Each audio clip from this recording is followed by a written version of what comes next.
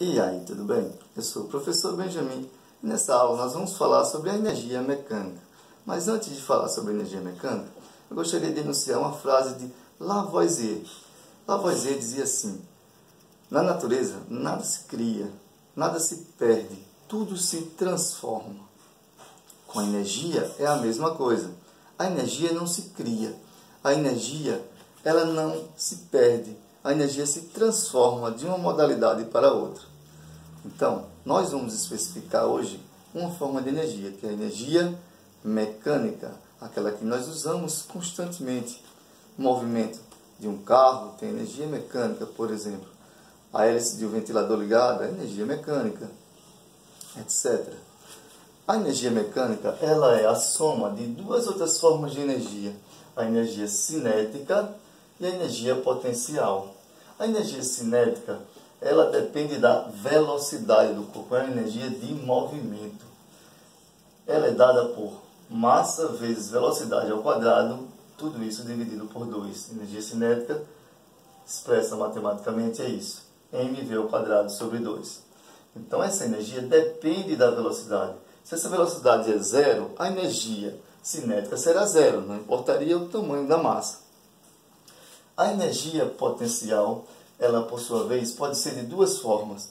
A energia potencial pode ser gravitacional, devido a um desnível, e pode ser elástica. A energia potencial gravitacional, ela é dada por mgh. Então, a energia de posição depende da altura. Quanto mais alto o objeto estiver em relação ao dado referencial, maior será a sua energia potencial gravitacional. A energia potencial elástica ela vai ocorrer quando algum objeto comprimir ou esticar uma mola. Então vai estar ocorrendo ali a energia potencial elástica, que é dada por kx ao quadrado sobre 2, onde k é a constante elástica da mola. Então vai depender da mola. Quanto maior a constante elástica, maior será, mais difícil vai ser comprimir essa mola ou esticar essa mola. X é a deformação sofrida pela mola. Então, X mede o quanto a mola estica ou o quanto a mola se comprime. Então, Kx ao quadrado sobre 2 mede a energia potencial elástica dessa mola. A energia mecânica, então, vai ser a soma dessas duas formas de energia, energia cinética com energia potencial. Sendo que em qualquer ponto da trajetória, a energia mecânica ela se conserva. Então ela vai estar ou sob efeito da energia cinética ou sob efeito da energia potencial ou ainda sob efeito das duas energias. Por exemplo, se você tem um objeto aqui parado a uma certa altura, a energia cinética dele é zero, mas ele vai ter energia potencial máxima. Então toda a energia mecânica aqui está na sua forma de energia potencial gravitacional.